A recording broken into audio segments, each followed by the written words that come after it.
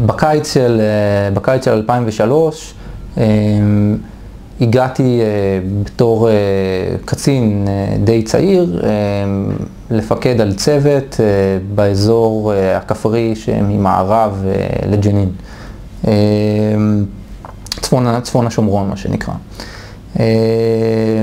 ובאותה תקופה התפוצצה אחת ההודנות.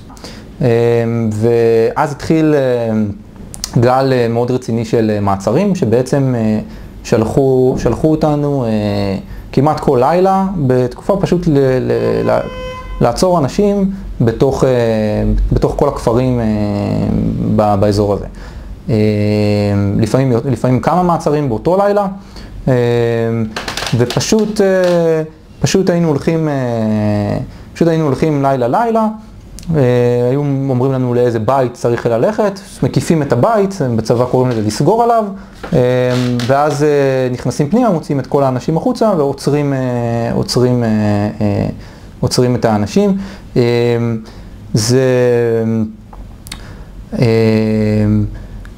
זה סיטואציה, סיטואציה די מזעזעת, להיכנס לאנשים באמצע הלילה הביתה, להעיר אותם.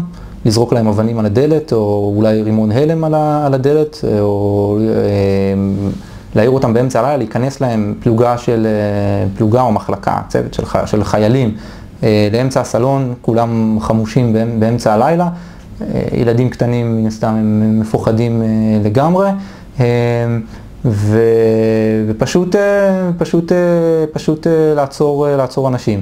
עכשיו, חשוב אולי להגיד בסיפור הזה שאנחנו שכל העסק הזה הוא שרירותי לגמרי מבחינה, מהרבה בחינות, מהבחינה הזאת שבתור חיילים לא היה לנו מושג את מי אנחנו הולכים לעצור, כמעט אף פעם. כמעט אף פעם. היה רכז שב"כ, הוא ידע את הכל, הוא החליט את הכל, הוא אמר, אתם תלכו לפה, לבית הזה, ידענו רק את הבית. וגם לפעמים היו טעויות בתים, ידענו רק את הבית, בכלל לא ידענו מי, מי הבן אדם שצריך לעצור אותו, במה הוא חשוד, למה עוצרים אותו. השב"כ רוצה, זה הבן אדם ש... שהמשימה שלכם בתור חיילים, ללכת, ללכת להביא אותו.